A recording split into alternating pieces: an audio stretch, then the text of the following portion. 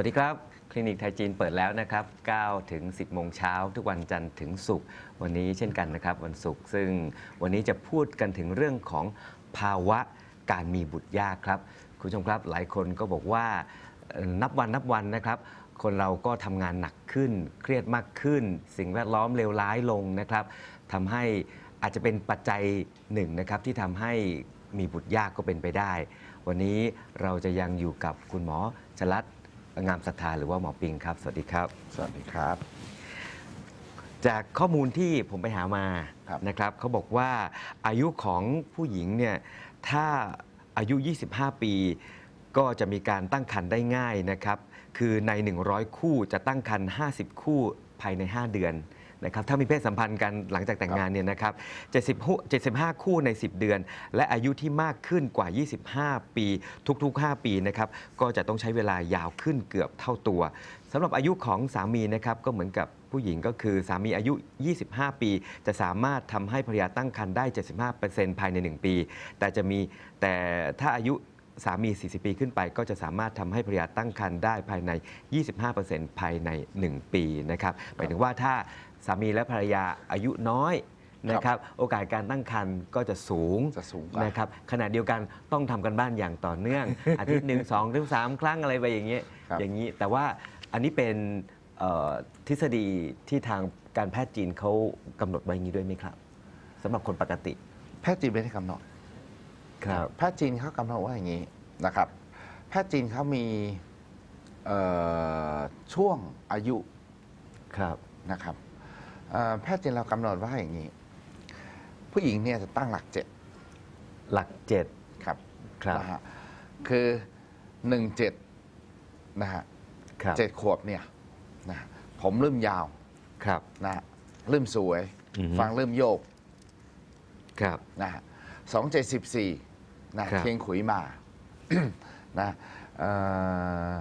เริ่มมีประจำเดือนครับ นะครับ สามเจ็ดยี่สิบเอ็ดครับ ร่างกายเจริญเต็มที่ครับนะฮะสี่เจ็ดยี่สิบแปดนะฮะครับ ถึงสูงสุดของร่างกายคือเต็มที่ของการเติบโตแล้วใช่ครับ นะฮะห้าเจ็ดสามสิบห้า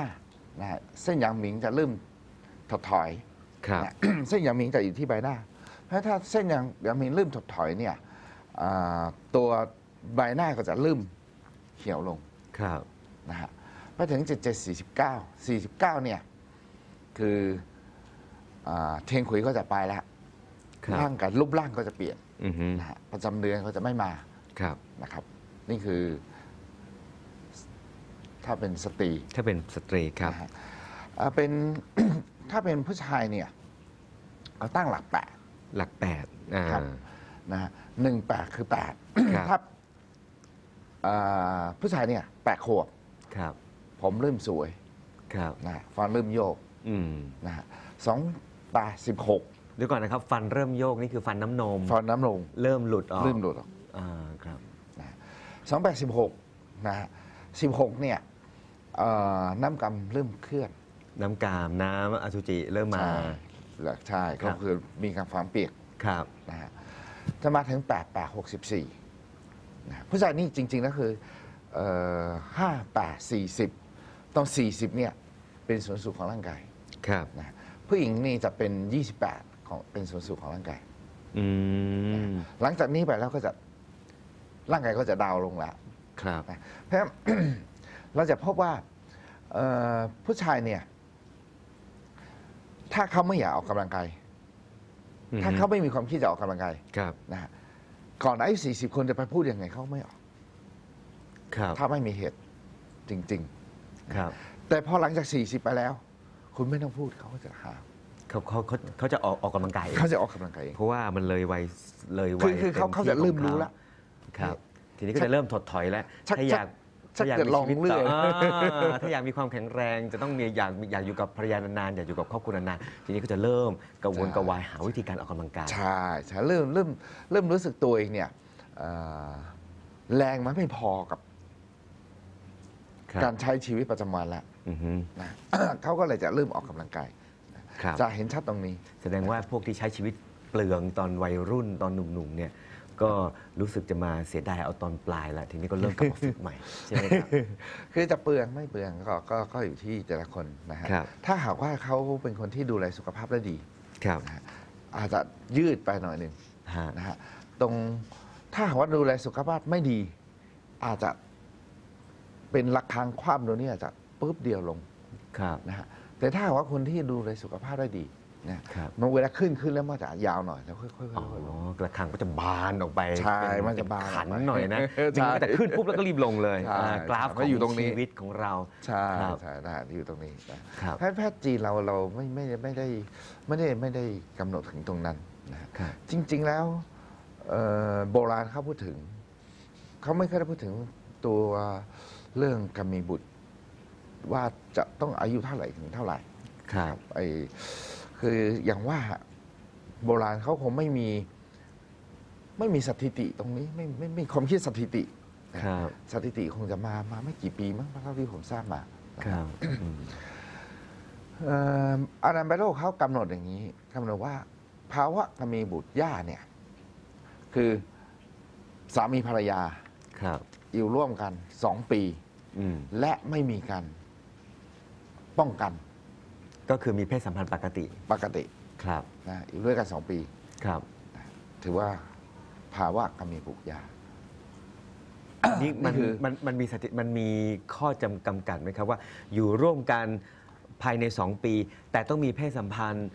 สัปดาห์ละกี่ครั้งอะไรอย่างเนี้ยครับไม่มีครับไม่มีไม่มีไม่มีตรงนี้นะครับ เขาเพียงได้บอกว่าอยู่กันสองปี แล้วก็เอ่อไม่มีไม่ได้เอ่อมีการป้องกันครับนะไม่คุมกำเนิดพูดครับง่ายฮะๆอย่างนี้เลยว่ามีมีบุบุตตรรยายากกครับ แต่จริง ๆ แล้วเอ่ออันนี้ไปตามตามหลักของทางการแพทย์ ครับ นะฮะ คือทางการแพทย์เขาต้องมีเขาต้องมีหลักการตรงนี้ไว้ ครับ แต่ถ้าเวลารักษาจริงๆ สองปีไม่ค่อยมีความหมายครับบางคนหกเดือนเข้ามาแล้ว บางคนสามเดือนวิ่งมาแล้ว วิ่งมาทำไมไม่มีท่าทีใช่ ครับ ก็เขาแต่งงานเล่นแต่งงานต้องสี่สิบอย่างเงี้ยครับสี่สิบห้าอย่างเงี้ยฮะ ใช่ไหมฮะแล้วนับวันคนก็แต่งงานช้าลง ช้าลง ใช่ใช่ครับใช่ใช่ใช่นี่นี่นี่คือคือคือปัญหานะครับ เพราะฉะนั้นเอ่อคือบัญญัติคือส่วนบัญญัตินะครับบัญญัติมีส่วนอืมบางบางในบางโลก ครับบางมีสุบ้างมีส่วนในบางโลก ผมครับว่านะอย่างสองปีตรงนี้ไม่รู้กำหนดกำหนดไว้ทำไม ผมไม่ได้ไม่แน่ใจ เอาละครับ คุณผู้ชมสามารถที่จะโทรศัพท์มาบอกเล่าอาการของคุณผู้ชมได้นะครับว่าทำไม มันไม่มีบุตรสักทีหนึ่ง026893673 026893673 หรือจะ SMS ก็ได้ด้วยการพิมพ์ TC เว้นวรรคตามด้วยคำถามแล้วก็ส่งมาที่ 4649000 อีกครั้งหนึ่งนะครับ 026893673 หรือจะ SMS ก็โดยการพิมพ์ TC เว้นวรรคตามด้วยคำถาม แล้วก็ส่งมาที่ 4649000 บางทีเคสของท่านนั้นจะมีทางออกก็ได้นะครับ เอาละครับ เรื่องของเรื่องของ ตั้งแต่ต้นเลยเรื่องของอายุ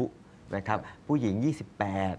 28นะครับผู้ชายใช่40นะครับเอ่อกราฟชีวิตของความแข็งแรงก็จะเริ่มถดถอยลงครับนะครับเรื่องอื่นๆเป็นมีปัจจัยไหมครับ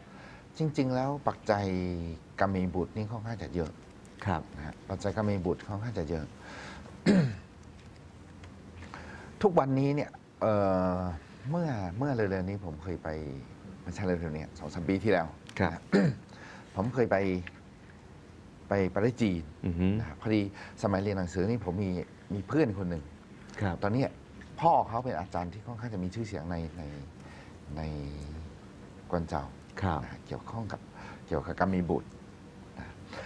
การเรียนรู้ของแพทย์จีนเราเนี่ย มีวิธีเรียนรู้อีกวิธีหนึ่ง คือไปล่อตามหลังตามอาจารย์ ไปลอกตามอาจารย์ คือประเทศจีนเนี่ยประเทศจีนเวลา เวลาเขาเขียนหนังสือเอ้ยเขียนตำราครับ นะอาจารย์เขาจะเขียนเขียนเสร็จแล้วก็เขียนวัดวัดมากเลยนะฮะแล้วก็เขียนอยู่ในประวัติพอครับ เขียนในประวัติเสร็จปั๊บเขาจะโยนให้กับลูกศิษย์ได้ลูกศิษย์ไปถอดความเอาไว้ ลูกศิษย์เขาจะต้องเขียนตำรับครับ ยามาตัวหนึงอืมที่เป็นล่อเป็นสวยครับ ๆนะอาจารย์เซ็นชื่อ เสร็จแล้วใบเนี้ยถึงจะไปที่ร้านขายยาไอ้ยไอ้ร้านยาครับ จัดยาครับ ครับ นี่คือนี่คือในขั้นตอน ทีนี้ไอ้ขั้นตอนตรงนี้เนี่ย คนที่จะไปลอกให้อาจารย์คนเนี้ยครับ เป็นสิทธิ์หลัก เป็นสิทธิ์รักของอาจารย์ ใช่ ซึ่งต้องไปลอกไปลอกลายมือยุ่งยุ่งยุ่งยุ่งเหยิงของอาจารย์มา ใช่ คือพระจีนเรานี่ปกติก็คือ ถ้าหากว่ายังไม่ถึงขั้นครับนะฮะยืนข้างๆก่อน อ๋อเรียนดูอาจารย์ ใช่ใช่ อะยังไม่มีสิทธิ์นั่ง นักสังเกตการณ์ไปก่อน ใช่ครับ พอเสร็จแล้วเอ่อพอได้นั่งนะฮะก็คืออามาลอกตำราครับพอลอกตำราสักระยะหนึ่งยังมีศิลาอีกคนหนึ่งนั่งคู่อาจารย์ อาจารย์แม่เสร็จแล้วแม่ทีอาจารย์แม่เสร็จแล้วแม่ที อันนี้นไม่ต้องลอกละ ครับ คือขึ้นนะฮะ ขึ้นมาอีกก้าขั้นหนึ่งใช่ ครับนะฮะแล้วเราจะเราจะรู้รู้แม่ของคนไข้ทำไมอาจารย์เขาถึงเขียนอย่างนี้ ครับเพราะฉะนั้นผมไปไปลอกตำราให้อาจารย์นะครับปรากฏว่าอาจารย์เขาใช้ตำรับอีกตำรับหนึ่งค่อนข้างจะเยอะครับนะฮะเป็นตำรับใครเครียดครับตำรับใครเครียดในการการรักษามีบุตรยากอืมแล้วก็เห็นผลจริงครับๆนะท่านรักษาการมีบุตรได้เยอะเยอะมากครับอ่าผมก็ถามอาจารย์ว่าทำไม อาจารย์ทำไมใช้ ตำรับใครเครียดเนี่ยอืม ตำรับนี้ใครเครียดไม่ใช่เหรอครับ มันไม่ใช่มันไม่ใช่เป็นเอเอมีบุตรยากผมไม่เคยอ่านเจอ ครับ ทุกวันนี้เนี่ย คนที่มารักษาสมมากจะเป็นอะไร กลุ่มทำงานใช่ไหมเครียด เครียด อืมกลุ่มกรรมกรมีไหม กรรมกรก็ไม่จะเครียดเลยถูกไหม เครียดน้อยกว่าเครียดน้อยกว่า อ่า เออเพราะฉะนั้นกรรมกร กลุ่มกรรมกรสมมากจะไม่ค่อยมีปัญหาเรื่องแล้วมีบุตรยากนอนเร็วด้วยต่างหากใช่มีบุตรง่ายนะ ครับ แข็งแรงใช่ เพราะฉะนั้นเดี๋ยวนี้เนี่ยโลกมันเปลี่ยนไป ครับเราจะตามสมัยโบราณมันก็คงไม่ได้ ครับ เราก็ต้องเปลี่ยนไปตามตามโลก ครับ เปลี่ยนไปตามอาการ ครับ ก็ ก็ได้ความรู้เยอะพอสมควรนะครัครับได้ความรู้เยอะพอสมควรอืม เพราะฉะนั้นมันเอ่อ คงจะไม่ไม่ไม่สามารถที่จะเราจะตามแบบโบราณ อย่างเดียวนะครับอืมเอาละครับคุณผู้ชมครับ มีคำถามอยากจะถามคุณหมอนะครับว่ากลุ่มอาการที่มีแนวโน้มว่าจะมีบุตรยากอย่างเช่น ผู้หญิงที่มีประจำเดือนมาไม่สม่ำเสมอ ประจำเดือนมาปวดมาก หรือว่าประจำเดือนมามากเกินเหตุ มีอาการเจ็บท้องน้อย เวลามีเพศสัมพันธ์ กลุ่มอาการเหล่านี้มีผลไหมครับ มีผลแน่นอนครับมีผลแน่นอนนะครับเอ่อ โบราณเวลา เขาพูดถึงเรื่องการมีบุตรเนี่ยนะเขาจะมีดูแลของสตรีไม่ใช่การมีบุตรอย่างเดียวโดยสตรีครับนะเขาจะแบ่งสามช่วงนะครับช่วงแรกคือช่วงปรับปรับประจำเดือนครับนะฮะคือการปรับประจำเดือนนี่คืออันดับแรกนะช่วงที่สองคือช่วงเขาเรียกว่าการมีบุตรนะช่วงที่สามก็คือหลานมีบุตรหลังจากครับที่มีบุตรไปแล้ว นะครับคือการดูแลเขาจะแบ่งสามช่วง ครับ โบราณสมัยโบราณเนี่ยแผนกนี้แผนกมีสองแผนกแผนกเด็กกับแผนกสตรีครับเขาเขียนว่าเป็นแผนกบ้ายแผนกใบ้แผนกบ้าย อ่าเดี๋ยวเราจะพักกันสักครู่นะครับคุณหมอครับ ครับ แล้วเดี๋ยวเราจะมาขยายความกันว่า แผนกใบ้เป็นอย่างไร และรวมไปถึงเรื่องของสุขภาวะของเพศชายด้วยนะครับ ว่าสุขภาวะแบบไหนที่ไม่สมบูรณ์ และจะส่งผลถึงการมี เอ่อบุตรยากเราจะพักกันสักครู่เดียวครับ